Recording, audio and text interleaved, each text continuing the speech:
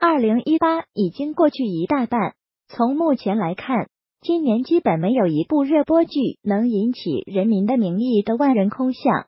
最近热播《延禧攻略》，虽然话题度很高，但可惜的是网播剧没机会上星。不过，即便在这种情况下，央视是真的厉害了。二零一八年目前为止，平均收视前十的电视剧中，一人独占六位，其他卫视被吊打，分别是《岁岁年年事事红》《换了人间》《楼外楼》《娘亲舅大》《最美的青春》《初心》。果然，央视选剧的眼光要更特别一些。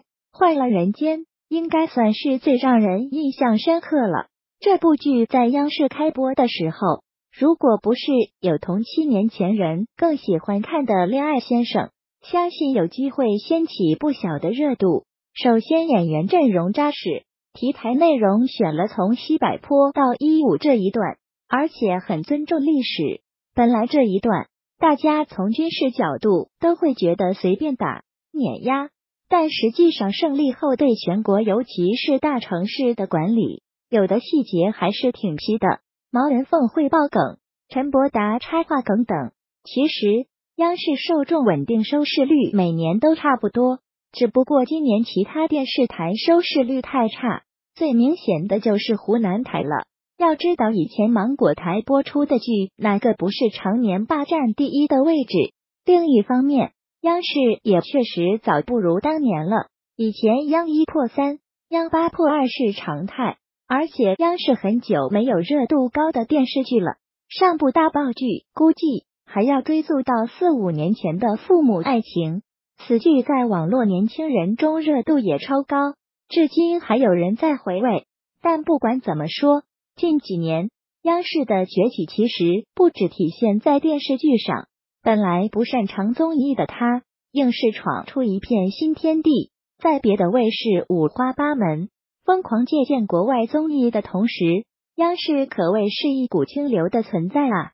首先必须的提一下最近开播的《如果国宝会说话》第二季。如果国宝会开口讲话，那他们会说些什么？乏味的长篇大论，no，我们国宝也会卖萌的好吗？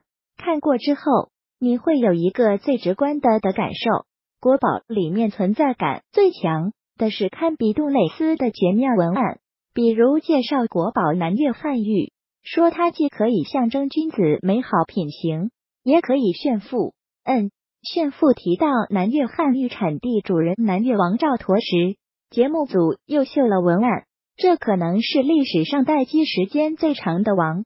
讲到击鼓说唱陶俑时，本来应当是欢喜的调子，旁白却莫名多了几分悲凉。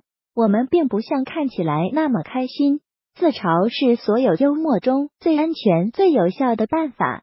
这种稳中带皮的方式将文物串火了，不再像以前那样很无聊、死板。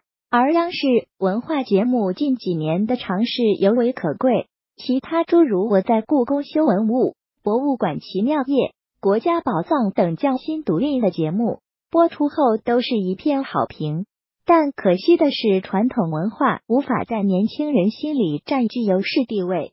当然，除了在内容的新，看似正经的央视也在积极汲取新鲜血液。在前几天，CCTV 三七夕特别节目《天下有情人》中。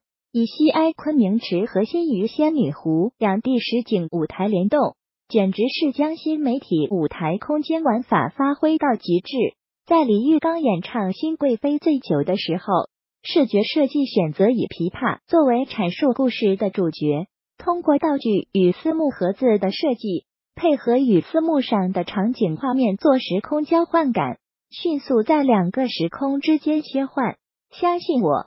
这绝不是某个卫视的跨年演唱会，而真的是央视七夕晚会。所以，其实央视正在逐渐打破我们对它的传统认知。小时候，或许是因为黑白电视只能收到 CCTV 一一个台，而被迫选择观看。但现在，他正在用行动证明，我要提起来，无人能敌。你觉得呢？